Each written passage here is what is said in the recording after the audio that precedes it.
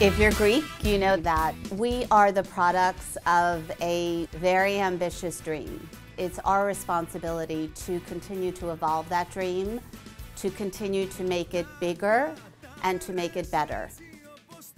So there is a lot of questions in our minds. uh, how long uh, this Hellenic identity can last and be Hellenic is something much bigger than DNA.